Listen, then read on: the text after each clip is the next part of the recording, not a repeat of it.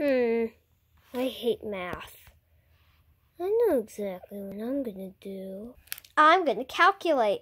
I'll only do it for the answers I don't know. Oh, dang it! Here comes Mom! Hi, Mom! What are you doing, honey? Studying for the test that's due tomorrow. Oh, I never knew you guys had a test. Anyway, call me when you're done. Let's get back to work. Okay. A minus E divided by M equals what? So A is 7 and E is 4 and M is 6. I'll do that. Oh, actually, the, the E is 3. So it's 50. All right. 50. Oh. Okay. All right. 3, 9, and 2, and another 9. Ooh, that's a good one. Oh, I forgot, that's my Game Boy Gamble. Oh, I'm going to play with that later. All right. 900 plus 1. That's so easy. 901. No, I thought that was 700. So I just said 784. It's okay, it's only one answer. Alright, the last one, then it'll be free. 18 minus 5 divided by 1. That's so easy. Perfect. Yes, I'm free! Perfect. Now, no one's ever gonna know. Can I see your math?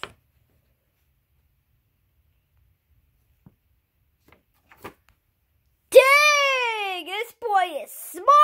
Can I go play on my Game Boy Gamble since I'm all done? Yeah, sure. And you're positive you didn't cheat, right? Yep. Alright, go play on your Game Boy Gamble now. Thanks, Mom. She's never gonna notice that I cheated.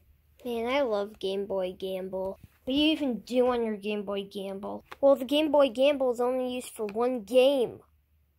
It's called Sochliv. Sochliv? What language is that? Arabic. It translates to gamble life. What do you do in gamble life? You can gamble online. Oh, okay. Boop, boop, boop, boop, boop. Yes, I unlocked the princesses. You unlocked the blonde fairy and the black fairy. What an awesome gift. Both of you get a nice little meal. You probably have been starving since you got here. Press A to feed the fairies.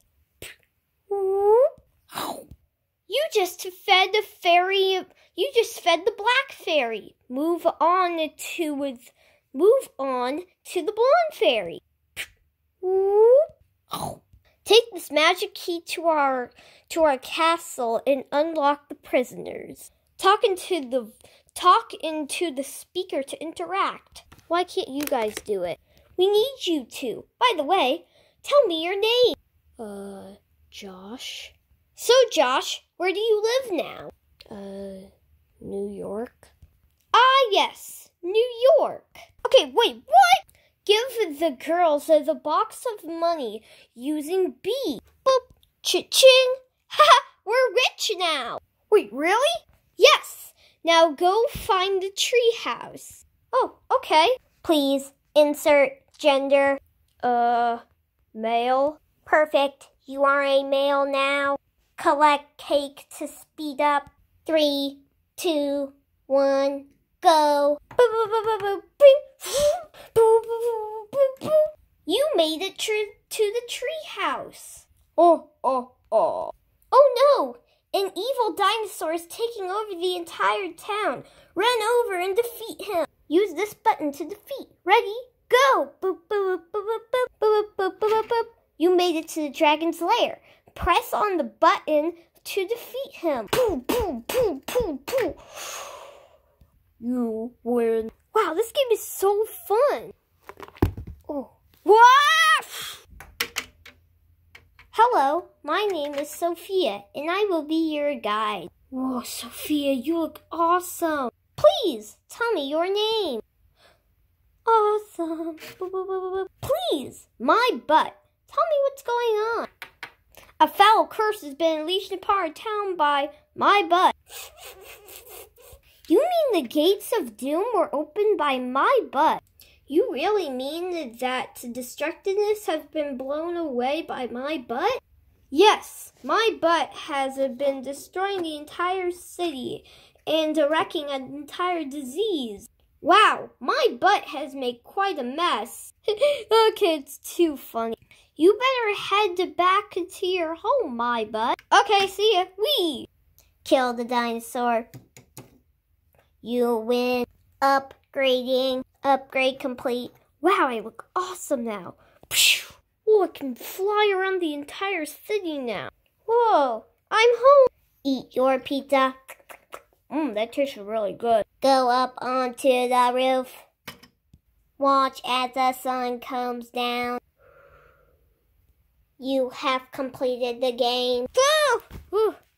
I guess my Game Boy Gamble isn't really a Game Boy Gamble after all. Josh, did you cheat on test? Oh no.